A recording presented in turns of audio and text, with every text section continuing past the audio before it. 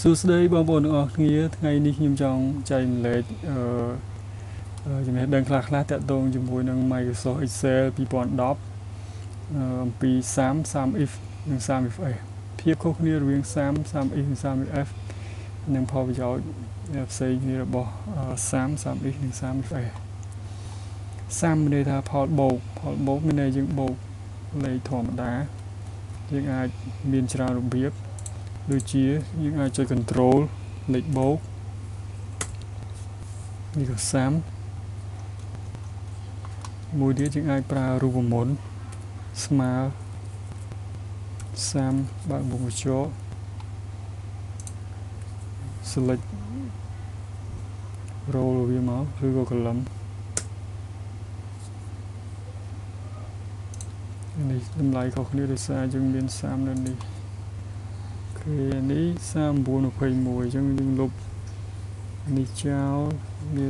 ត្រូវស្មើ3921ដូចគ្នាចំណែក sum if sum if អត្ថប្រយោជន៍របស់វាគឺយើងអាចអឺបូកចំនួនណាមួយដែលយើងចង់បានឧទាហរណ៍ដូចជា sum if ក្នុងនេះវាដាក់ rank rank មានន័យថា អឺគឺ rank ពីណាទៅណាឧបមាថាយើងយក D rank D គឺមានតម្លៃ criteria criteria អនសុំភ័យទោស rank មានន័យថា rank យើងយក rank provin provin រឿងរបស់វាគឺច្រើន criteria criteria គឺមានន័យថាយើងយកអឺ select យកមួយណា province មានច្រើនអញ្ចឹងយើងអាច select យកភ្នំពេញ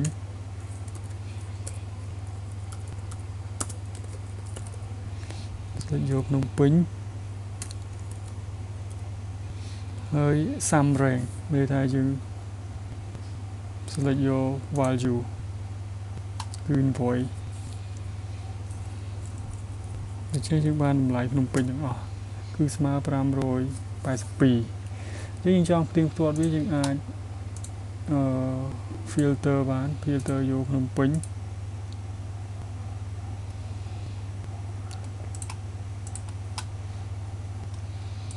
គឺតម្លៃផលបូកវាទាំងអស់គឺ582ដល់ filter យើងវិញ ចំណែក sum if f មានអត្ថប្រយោជន៍ច្រើនជាង sum និង sum if ដោយសារវាអាចដាក់លក្ខខណ្ឌបានច្រើន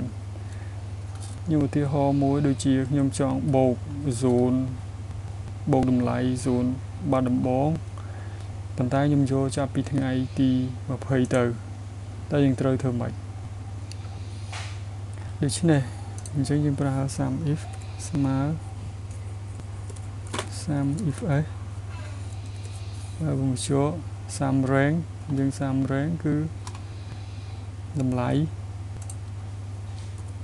ទើបមក criteria 1 criteria 1យើង select យក province ក្បៀសអឺ criteria rank 1បន្ទាប់មក criteria 1គឺយើងចង់បូកបាត់ដំបងអញ្ចឹងយើង select បាត់ដំបង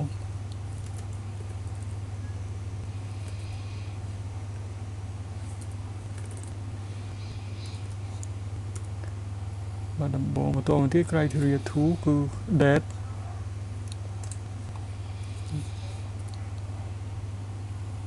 criteria rank 2គឺ date បន្តមកទៀតយើង select criteria 2យើងចង់បូកគឺយើងដាក់លក្ខខណ្ឌវាយើងចង់បានលក្ខខណ្ឌវាគឺធំជាងឬស្មើចាប់ពីថ្ងៃ20ទៅអញ្ចឹងយើង select យកថ្ងៃ20ដោយប្រើសញ្ញានឹង នឹងថ្ងៃ20ចឹងទៅមានថាវាបូកយកតម្លៃធំជាងថ្ងៃ20បូកយកបាត់ដំបងដែលធំជាងថ្ងៃ20សូមភ័យទោ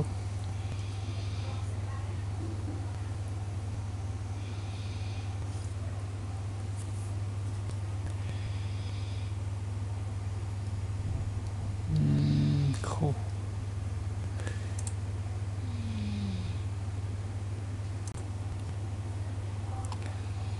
Đi cầm hô hư đời xa, ọt miên nhà nứng.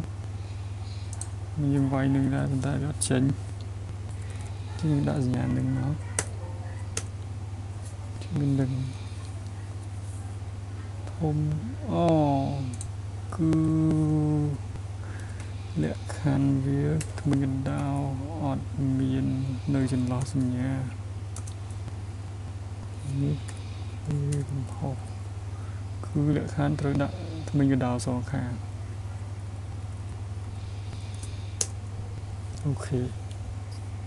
គឺណាត្រឹមត្រូវហើយអញ្ចឹងយើងទៀងទាត់យើងយក filter យកបាត់ដំបង តមកយើងយកថ្ងៃធំជាងថ្ងៃ20អញ្ចឹងអានេះយើងដោះចោលថ្ងៃ21យើងយកអូខេតើតម្លៃវាស្មើ540អូខេត្រឹមត្រូវនេះគឺគឺគ្រាន់តែជាជំនួយខ្លះខ្លះដល់ការងារផ្នែក Twin Voice និង ការងារមួយចំនួនតាក់ទងជាមួយនឹង Excel សូមអរគុណសូមជម្រាបលា